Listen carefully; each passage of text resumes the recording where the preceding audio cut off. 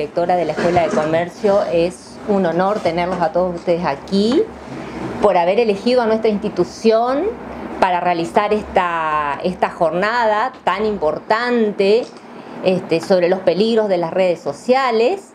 Agradezco eh, a todos los que colaboraron para que se lleve esta, esta jornada a cabo. Un problema, una problemática que afecta eh, a toda la sociedad, eh, no discrimina la zona, ni si el colegio es grande, es chico, ni si la institución es privada o es estatal. Vamos a dejar a ninguna institución afuera, es para el nivel medio, pero hoy eh, la invitación se hizo extensiva a todos los séptimos grados de, la ciudad de Verás. Enfrentarlas, conocerlas, eh, distinguirlas, ¿no? Y eh, superarlas, por supuesto, a través del conocimiento. Así que es una fuerte, otra vez, inversión en conocimiento para seguir formando integralmente a nuestros adolescentes, preadolescentes y que en definitiva redunda en todo lo que es la sana convivencia, ¿no? Que es la, por ahí el el eje vertebrador del, que nos moviliza hoy en estas circunstancias. Involucrarse. El consejo principal en todos los casos es involucrarse. No significa que seamos tecnológicos, que seamos eh, eh, asiduos a la tecnología, pero que mínimamente tengamos idea qué redes sociales utilizan nuestros hijos, qué sitios visitan. ¿sí? Hoy día el grooming es un, es un delito, es ley. Entonces nosotros tenemos que saber con quiénes interactúan, qué hacen.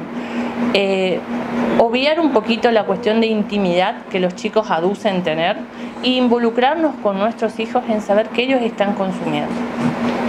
están muy expuestos.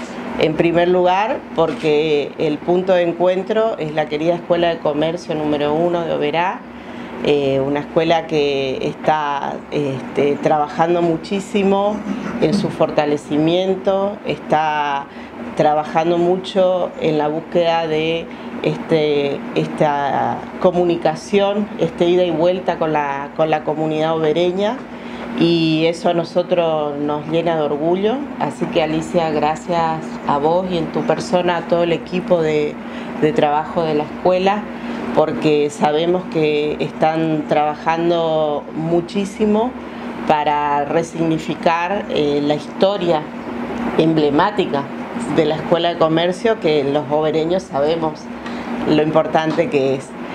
Y en segundo lugar, este, que el, objeto, el objetivo de esta convocatoria sea precisamente el de trabajar junto con la comunidad educativa en un tema y en un problema que nos convoca realmente a todos, eh, fundamentalmente a nosotros como padres y este, a los chicos, a los estudiantes.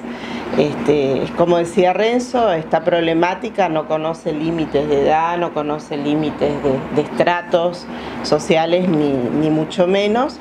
Y la única manera que tenemos realmente de, de atacarlo, de combatirlo y de desterrarlo es a través del conocimiento.